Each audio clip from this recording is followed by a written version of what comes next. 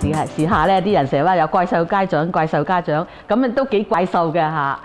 點怪獸咧？嗱，好似而家啲 case 啦，啊唔知係咪有學券制啦，咁就啲家長就即係可以 afford 到，可以提供咗多啲資源，誒佢俾佢小朋友啊，所以咧同佢報好多興趣班啊，咁咪誒依個鐘頭嚟呢度，依個鐘頭嚟嚟嗰個 centre。咁誒，仲有啲咧家長咧就朝頭早讀一間學校，下晝讀一間學校。我哋有咁嘅 case 啊，真係有一個 case。不過佢就我都啊，咁我都認同佢呢個點樣，就係話佢朝頭早因為讀國際，下晝就希望佢讀多啲中文，所以就嚟嚟我哋學校。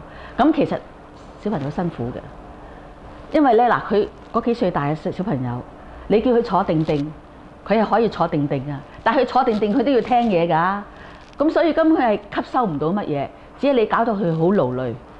呢個鐘頭翻呢個 centre，呢個鐘頭翻 centre，同埋佢要適應力，佢要好強。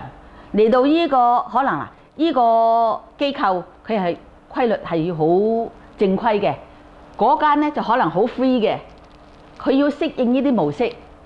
喺其實三歲以下嘅小朋友喺呢啲能力方面咧，佢哋真係好難 handle 到嘅。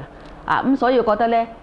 嗱，怪獸嘅家長咧，佢哋真係變咗真係怪獸家長啊！即係喺呢個情形之下咧，其實佢哋所有所要做就係話啊，我陳婉唔好喺屋企，俾佢 c e n t r 好過，淨係就算菲傭抽，菲傭會幫到佢好多樣嘢，但係你要知道小朋友佢要休息嘅時間幾多小時啊！咁所以我希望即係啲怪獸家長即係要識諗多啲咯啊！有時變咗反效果咯。